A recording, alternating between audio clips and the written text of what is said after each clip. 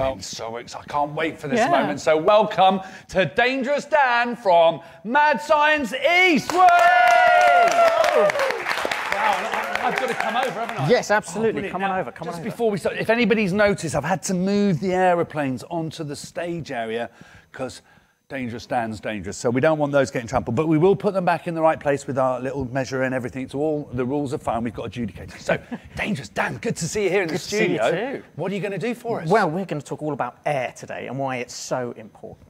brilliant. Yeah. And, and are you going to be doing some crazy experiments? So what do we need to do first? What do you want us to get? Well- start with air. Exactly. Right? I think we need to know how much of it there is. What, just in here or, or everywhere? Everywhere. How much of it specifically is on top of your head pushing down? How much pressure there is?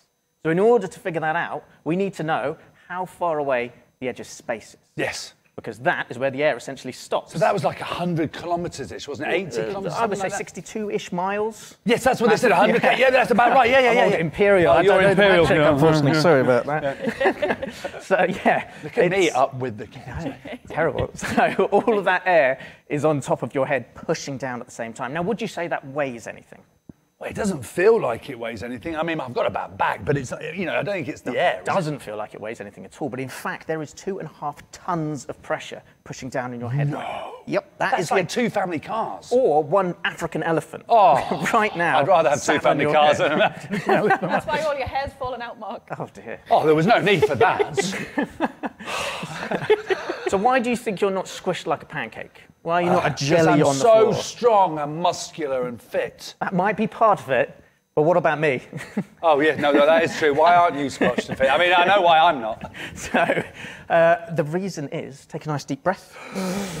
You are full of air. And I can prove this with this where you were lovely going bottle here. This Yes. was represents us right now, full of air. So now, if I was to take out all of the air, what is Hmm. going to happen to the bottle? Are you ready?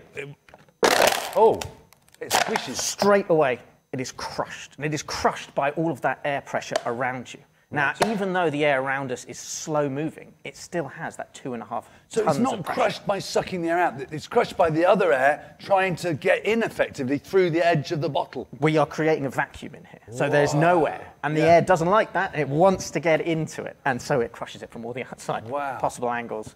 And now we have this. All you need to do to bring it back to life. And it is full of air again. And now it is a completely fine, okay bottle to use again for later. So That's amazing. I think we can use this air to our advantage. So I'm going to introduce you a friend. This is old Peter Ping Pong Ball right here. Right. We are going to try and keep him in the air. But we are not going to use the two and a half tons of pressure. What we're going to use is the opposite of that. We're going to create fast moving air, and that lowers the pressure. So I have brought with me a lovely hairdryer from home. See if it works. See if it works. There we go. nice and dry, perfect. and we are going to take you're going to take Peter, and you are going to place him on top of the hairdryer Okay. slowly. Oh, slowly. sorry. Sorry. Slowly. Wow. Now, at the moment, we have a column of fast-moving air going upwards. But what happens if we tilt the hairdryer? It'll fall off. It should fall off, It right? will. Now you're seeing Not falling off. it is staying on. Well, how's it doing that? Well, that is an excellent question. That's a good catch as well. Thank you very much. all right. So, at the moment, we created fast moving air from the hairdryer. That essentially causes low pressure. Now, all around us at the moment, we've already established we've got two and a half tons of slow moving, high pressure air. That means as we turn the hairdryer, whilst that fast moving air is allowing our ping pong ball to float, all of the slow moving air is pushing in, trying to get into that column of fast moving air. Wow. Just like it was trying to get into our bottle, it crushed it just like that fast moving air is keeping the slow moving air in that column. Wow. It's amazing. So I think we should add some more stuff. Yes. Because we have some balloons. So here, you take a balloon, blow it up for me. Okay, You here we can go. name it as well. I think that one's just about big enough for me.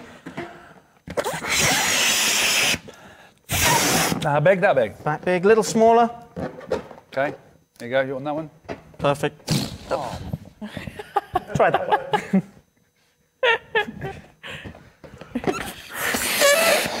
Mine's.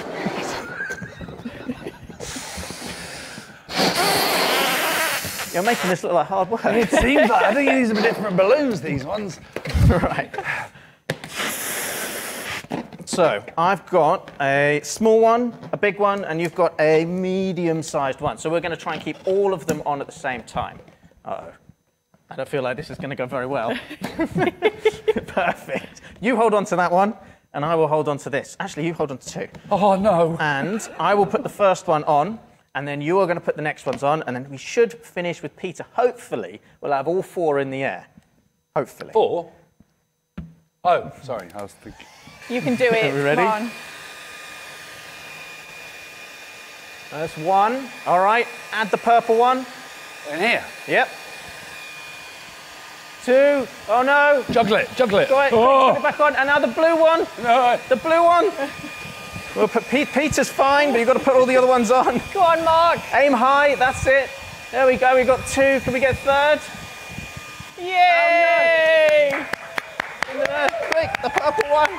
There we go. Oh, the blue one's escaping. The ball's gone. Like juggling. We're getting there. Yes! Brilliant. Oh, I would say that's about as good as we're going to get. Not too bad. I love being your assistant. Very energetic. so, we managed to get, I would say at one time, four objects were on there. But you might have noticed that this is not perfectly spherical. Hmm. So, Peter's ping pong ball, all of the air goes up and goes around him and then goes up and around. But Got ya. unfortunately, your blue one, because it is not quite not perfectly bad. spherical, it's got this bit here, it does a little wobble. yes. So, to try and get all of them in the air, we would need perfect spheres. Got you. But Different sizes are all the same size? at different sizes to stack them properly. Yes, brilliant. Now, obviously, we're mad science. And you could do this at home if you wanted to, with your own ping pong balls and your own balloon and a hairdryer if you've got one, but we need to do things bigger. So I have brought a slightly bigger hairdryer with me. It's just over here, in the form of my leaf blower. It is pretty big, it's pretty powerful.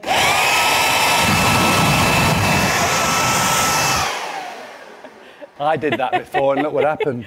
You want to try? No, I've been there once. Not doing that again. Now, I don't think we should put the ball on there because it would just fire right into the Shall ceiling. then? But we can bring something bigger. I believe around there you have a Oh, slightly wow. bigger ball, just slightly. Perfect. We have our lovely ping pong, uh, our lovely beach ball, and you might have noticed it is perfectly spherical. Look at that. Woohoo! So you are going to be in charge of this this time. are you ready? Yes. going to start low because these ceilings aren't as high. You ready? Three, two, one.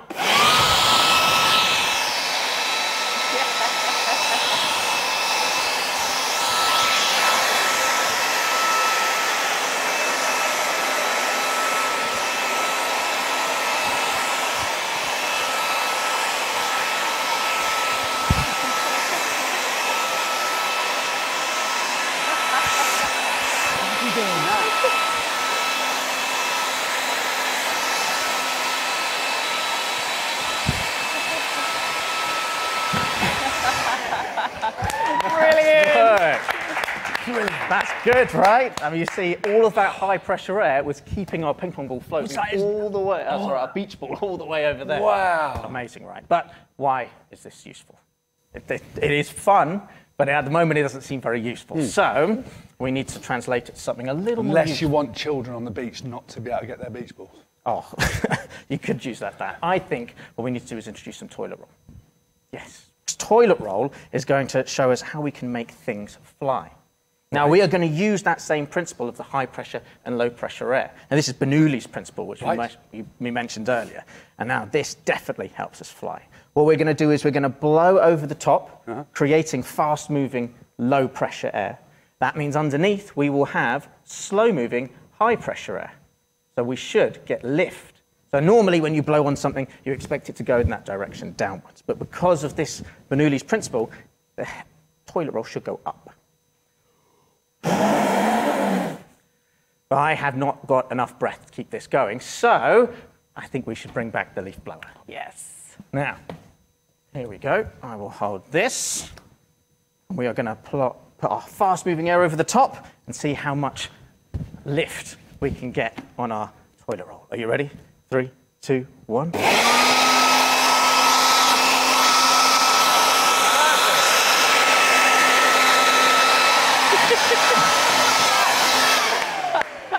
Amazing. Feeling. Well, we've got plenty of toilet rolls. Do you want to see it again? Uh, yeah, let's do it again. Let's let's do do it it again. Leave, no, I'll leave for a minute. Right. Have time. I think I'll hold it this time. Do you want to have the leaf Can, can I have the leaf? Of course blower? you can. Where's the on button? right So there. this one. Right, have you got a, a, a victim that we can cover Victim, a toilet that roll one there. Yeah. Right, perfect. Tom, go for camera it. Here one. we go. Which way? Just any way. Anyway. Any way. Go for Adam. John, go for John. Back to Tom.